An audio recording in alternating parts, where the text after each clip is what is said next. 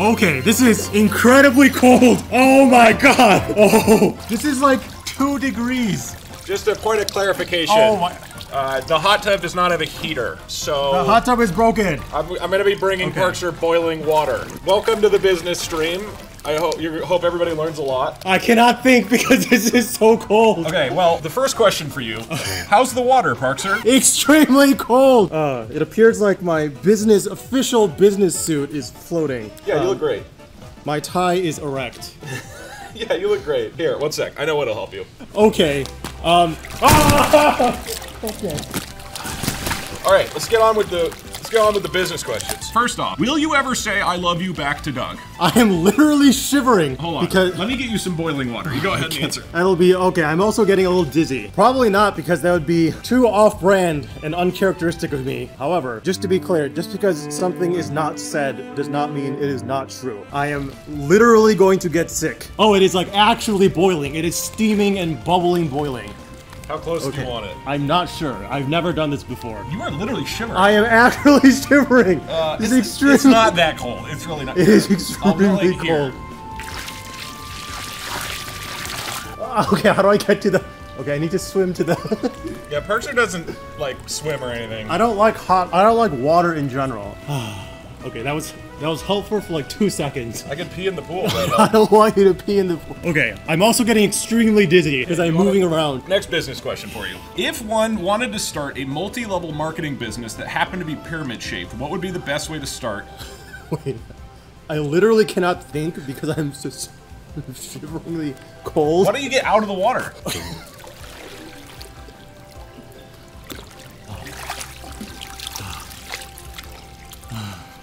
I'm now extremely dizzy. The best way to start would be probably not to start, because even though it'll be productive now, eventually you will get prosecuted for it. However, if you insist on starting a pyramid scheme, you should find something that is interesting to people and can convince them to make an initial investment. Probably something that would be compelling to the general public. I'm still extremely freezing cold. I can't tell if I'm colder up here because now I am evaporating. I can pour boiling water on you. I can pee on you. Not like on a me. jellyfish. Do you have more po- pots of boiling water? No, I just had the one. Okay, well that's not helpful. I can try to use the sink over there. yes, if you can get hot water, All that'd right, be okay. fantastic. Well, while I do that, the next question. Parkzer, very important business inquiry. Would you rather have unlimited bacon but no video games? Or unlimited games? Hold on. Would you rather have unlimited bacon but no more video games? Or games, unlimited games but no more games? Neither. That question does not make sense. If they intended to ask whether or not I would have bacon or games, I'd probably pick games. Uh, because I don't really eat too much bacon anyway. No, no, no. The question is Would you rather have unlimited bacon but no more video games or games? Unlimited games but no more games? Okay, so then the options boil down to uh, boil. I'm not boiling. The the options come down to either I have unlimited bacon or I just give up games with nothing in return. Which in that case, I would take the unlimited bacon. Parkzer, have you taken any drugs in your life? This is a serious question. Answer pretty please. I mean, many things count as drugs. I tend to avoid things Meth. like I've never done meth. Crystal meth. I have never done any form of meth, including crystal meth. Turbo meth. I have not. That I believe counts. As, is that even a thing? Sure you haven't. I'm not winking. It may look like I'm. Am I inadvertently winking because I'm shivering? Uh, you like, I think you kind of like gave me a little like, That's- huh? okay, a little, you know, little like, eh, eh, little shiver. I need to adjust my outfit to ensure I am maximally business professional. Uh, Parkzer, we've gotten through like five questions. How much longer do you think you can stand this? I feel like at this rate I could go for like a decent amount of time. Okay. But that is probably at the expense of my health because right now I feel like I am uh, producing a lot of adrenaline because I literally just more or less took an ice bath Yeah. and then never actually came out of the ice bath fully. For the record, I'm not trying to talk, talk shit about Parkzer. It's not that cold. It this is is not freezing It is cold. not freezing It is cold water. freezing It is cold. like- Oh, I- the bouncy castle. business question. I need help getting out of Doug's basement. Any tips or tricks? Just get out. Take the steps up, open the door, and walk out. How do they escape the traps? All right, next question. How many times have you shot your gun? That's a good question about business. I wouldn't say it's about business. Probably in the low, In the line of business, how many times have you shot? in the line gun? of business, zero. In terms of like actually shooting a firearm, probably in the low few thousands. Because every time I go to like a training session, it's usually between one to two hundred ish rounds. I think. So that's like 100 people that you shoot each time? No, Or one person that you shoot 100 times? I shoot one target Oh. 100 or to 200 times, or like multiple targets. Parts of the human beings. Talk about they're them not like. they're not human beings. Uh, in terms of like literal live human beings or even dead human beings, it is zero. Yet. I mean, hopefully ever, but I mean technically you're not wrong when you say yet. So like thousands of times in total? Like a low few thousands, I think, but all for training purposes. With no wink. Okay, a lot of people seem genuinely interested in this. What is your opinion on renting versus buying a home? You have traveled a lot, so you must be renting, staying in a hotel a lot. So renting versus buying is uh, some hot water. okay is heavily dependent on your personal situation. Uh, there are a lot of factors to consider, including stuff like uh, whether or not you have job security, or like if you get terminated. Being in a house, an owner-occupied property is going to limit the breadth of where you can find a new job. Th- this one is not boiling, right? Okay.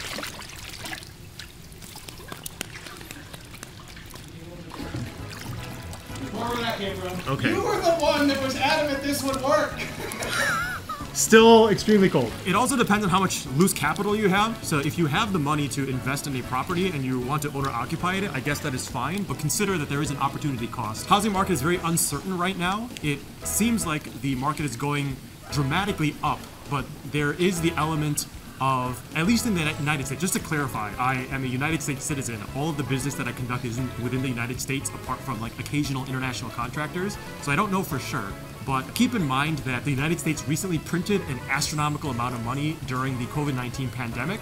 So even though the markets look like they are doing fine, I don't think it's actually fine. So that is something to keep in mind. The housing market is extremely volatile at this time, so you should consider that before purchasing a property. A lot of people claim that renting is just throwing money away, but that is absolutely not the case. A lot of times there are abstract or non there's non-quantifiable benefits that you can get from renting and the mobility that you have the peace of mind that like for example you don't have to suffer catastrophic losses in case of a natural disaster or something like that so there's like factors like that to consider uh, there are a lot of good resources online when it comes to are you by chance zooming in really close to my face because i see you No, I'm checking focus. This lens can't zoom. Don't worry. i literally don't believe you you are literally trolling Chat, chat can tell. Chat, have I, i don't have chat i am wet No, you can read it right there. where i literally do not have chat It's so close we can see your eyelashes right now. We can see your nose hairs. Okay. Does, does this angle work better for my nose hairs? I recommend looking up online resources because, to be clear, I am not a real estate agent and I am not a pour this on financial. you? Not on me. It's not boiling. Wait, wait, wait, I mean, still not on me. Just have, put that in, in the water and have him put his foot in. Yeah, okay, here we go. That's not how water works. So now just put your feet in that. Oh, okay. All right, that that makes sense. Okay, but let's. Oh my god. Okay, let's stay. Let's stay focused on what everybody's here for, which is business. Okay, next business question. What are your thoughts on Updog? I have no opinions on Up Dog. I don't think he fell for it, chat. Nice try. How many porn stars have you done business with? I generally don't disclose the number or the identities of people I work with. We generally have. I'm. There's no wink to that. Also, this water is already extremely cold again. Well, yeah, you dunked the whole thing. All right, I'll go get more. So prior to prior to conducting or entering in engagement letters, we usually have a non-disclosure agreement where oh, where we uh, hold on. I need to fix my business suit. Business. Okay. I do want to clarify. Uh, Parkzer's not playing this up. He yesterday was not willing to put a single foot in the water because it made him dizzy. So this is putting himself through a lot of pain right now. I'll generally sign non-disclosure agreements where the definition of confidential information does almost always include the existence of the actual contract itself. So I almost never disclose who I work with. However, I let the other person breach that and disclose it if they want to. So the best way to find out would be technically to go to other people and ask Every porn star. Basically, yes, because I'm not going to breach that confidentiality agreement. Also, to clarify, I'm not starring in adult entertainment films with them. I am providing business advisory services to them without a wink. I saw a wink. You guys can't, because he zoomed back out, so they can't see. If there was a wink, it was a shiver because I'm cold again. Oh, this is a good business question. How marketable do you think you would be as a plushie? Probably not marketable at all, actually, because a lot of times, in terms of like merchandise in general, including plushies. Wait, you replied to this. Yeah, so I. Parkzer, these were supposed to. Do you read So- all these in advance? Not all of them, but I did. I, I did read. That was the whole point. I read a bunch of them last night because you you pinged everyone in Discord, and the questions were so catastrophically bad that I felt bad for the people who actually asked real questions. So I answered like a handful of real questions before I realized I probably should just wait until today. Yes. So that was late last night. Okay. The questions suck. Like 98% of these questions are awful. so for plushies and merchandise in general, a lot of times you have to market those to children. So like there are adults who collect merchandise or like collectibles, but a lot of times the main market you want to target for toys is children. And I feel like I'm not very child friendly. Um, I've, I've always thought you- that about you as well. ah, more hot water. Long story short, probably not at all. Maybe just pour it into the soup. Hold both your hands in. Ah! Wait, you, you can't get dizzy. We have to be able to eat 10 pounds of seafood. How's that? It's very warm. So The hands was like a trick. Would, Okay, it's cold again. Can you bring more hot water? I'm actually, I want to know the answer to this. Would dual wielding handguns be practical or more any more practical than just using a single firearm? And before you answer, Why don't you demonstrate? Okay, I'm I'm cold and dizzy again, so I forgot the question. stop getting in the water. It makes you dizzy. Oh. You pre-read all the questions and keep jumping in the water. I forgot that. What's the question? Would dual wielding handguns be practical or any more practical than just using a single firearm? You say to shoot it at the Say, camera? don't shoot at the camera. That's, Oh, yeah. why not? More That's water. a wet dart. very, very nice lens. Uh, it's pretty funny though. It is. Pre- it is pretty It's pretty funny. funny. It is pretty funny.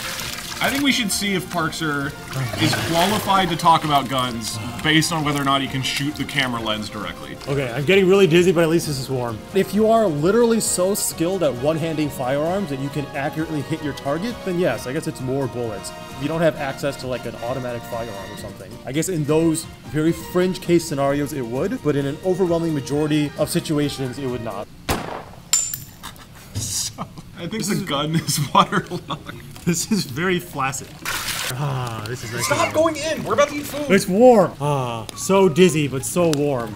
Wait, why? Why are you? What am I supposed to do with this? Am I supposed to keep trying until I hit the lens? Yeah, sure. Okay. No. All right, last chance. Last chance. The funny man is saying yes. The camera operator is saying no. It'd be funny. One shot. I've already had two shots and I missed. One it's a shot. Okay, I guess I can angle it up. That's too And then, high. I mean, I angled it directly at it and it felt like on the Yeah, floor. so, yeah, you have to go higher for sure. Oh, hit the I hit the screen. Okay. Okay. Okay. I am curious about this one. If I were to take all of my money and dump it in a river, would that be tax deductible? No, because you are intentionally doing it. If you had if you had your money stolen and it got thrown into a river, That's tax deductible? Yes, to clarify, I am not an accountant. I'm not a financial advisor, and this information may be outdated. In the United States, there was recently a law passed by the Trump administration that made changes to this. But if you are a victim of theft and you can prove that it was an actual theft, then yes, I believe that is tax deductible. Your theft losses can be tax deductible if it is not covered by insurance. But yes, if you get something stolen and it is of significant value, it would be worth consulting a financial advisor about that because there may be some tax deductible opportunities for you for the cost of what you got stolen. But if you destroy your own property, then no. Wait, why didn't you tell me that before I threw all my money in the pool last night? You can go get it. Let's do a few more. How are you feeling? Extremely dizzy and very cold. You should get out so that you can stop being dizzy so you can eat food. Water, hot water. Put your hand, put your hand in that. Feels exactly the same Put your hand in temperature. there. There you go. So So, right here, it gets nice and warm for like a good three seconds, and uh, now it's cold again. Now I'm dizzy again. Okay. Here, Barry, why don't you ask some questions? Are you gonna go get your money? Now you can have it. I'll go get the waxing. Oh, How long will you need before you can eat food? maybe like tomorrow. I'm I'm extremely dizzy, right? I'm I'm not showing it. You should you should get out of the pool. You that's you forgot to. Never mind. what? You didn't forget anything. That's that's okay. Are you okay? No, but yeah. What is supply and demand, but explain it with food? Does water count as as food? Well, usually they say food and water, so no. Uh, hello, squirrel. I've made a determination that food, water is indeed food for this example. All right, all right, all right. So, supply would be the hot or boiling water, and demand is my need for the hot and boiling water because this hot tub is broken and is actually a cold tub. and I'm going to freeze to death. I'll probably get sick tomorrow. I am literally shivering. Um, so, the supply, because it is lower than my demand, because I demand an entire tub full of hot water, but there's limited supply. So, I could incentivize Barry to give me hot water faster by, for example, threatening to push him into the pool if he does not. Okay, this is. Oh, I'm, oh, I'm dizzy again. Were you actually Oh. gonna push me in the pool? Next question. What ice cream flavors will you be giving the mods? I don't know yet. For those who are unfamiliar, during the Monterey Bay Aquarium, no, oh my gun. During the Monterey, during the Monterey Bay Aquarium charity stream, we one of the stretch goals. Oh, okay. Hello. One of the stretch goals was to give the DougDoug moderators in general a uh, an ice cream party. That is in progress. We don't know what flavor, but I guess it depends on how we do the logistics of it. I assume we're going to do a poll for the mods to see what the best effective way to do this is. And then I'll probably just to make it funny, if somebody requests something very strange, we'll get like one container of the really strange flavor, like hot dog, Yeah, like hot dog ice cream. yeah, I could. Uh, Have you tried it? I think it's actually Hot dog ice cream? Yeah. You've tried it? yeah. Is it sweet or does it just taste like a hot dog? Uh, it just tastes like a hot dog, but it's like a really weird texture, so like you get really confused. Next question. If you could choose any breed of dog to promote your business, what breed would you pick? Oh, what's the dog that's like basically a dinosaur? Not a dinosaur. What's the dog that's like, like really? Str- it's like a Belgian Malinois or something. Does anybody know? Someone, someone said Velociraptor. Veloci. No. Belgian. It's like a Belgian Mel. Mal. How about a how about a poodle then? No. Yeah, okay, we can go with that. Let's see. Wait, you already answered this question. What is the most? a good question? Just to be clear, You already answered this. Doug posted this on Discord last night and asked people to go on Reddit to submit questions. It wasn't questions. for you. I saw the ping, so I opened the thing, and I was like, huh, let me browse through these questions. And then I realized that 98% of them are absolute garbage. So for the few percent that like actually were good questions, I started answering them. It's like, hey, this person actually wants my assistance. And then I realized that I should probably not do that and wait for today. What, what was the question though? Uh, the question was, what is the most financially affordable price for a missile launcher for somebody with a middle class income? Same goes with a private jet. A question So- that he has already answered. So for In Reddit. So to start, for missile launchers, grenade launchers, or any kind of firearms, I'm not the best person to ask. Uh, I know very little about firearms apart from just the two that I own. So if you go to pretty much any gun store or gun range, you will find staff members there. I am still freezing cold.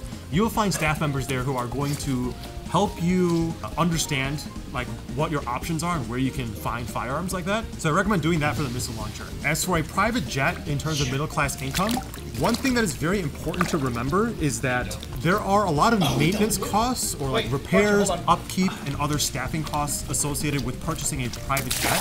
So even I'm feeling warmth. I just peed. Go get him! Go get him! Ah. go get him! Dude, So we're, you- about, we're about to eat food. It's ready in like three minutes.